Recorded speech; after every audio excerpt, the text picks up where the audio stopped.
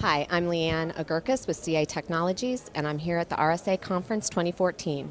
I'm here with Gene Kim, author of the Phoenix Project, and he's going to um, talk to us today about DevOps and security.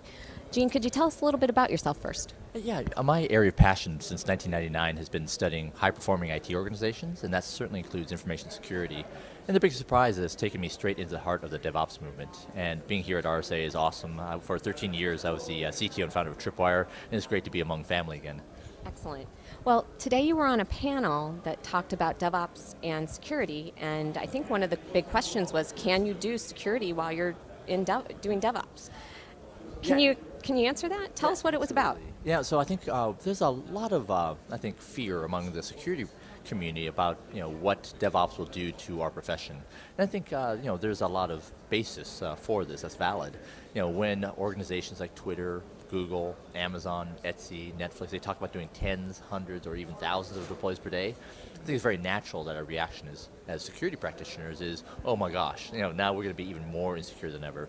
However, based on our research, you know, we're actually finding that you know, when you have fast feedback loops and have high deploy rates and short lead times, it does nothing better for information security because it allows us to find and fix vulnerabilities quicker than ever, and also creates a sense of teamwork between InfoSec dev and ops that just doesn't exist uh, in non-DevOps organizations.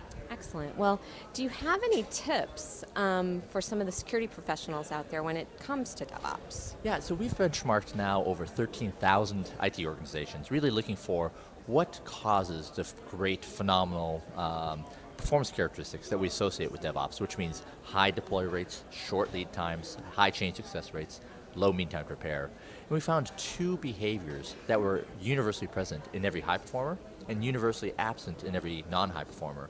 And those two things were, you know, is there an automated uh, code deployment process and an automated way to create an environment available on demand? And so every information security practitioner should find where is that happening and make sure that we are putting our hardening guides into the build process.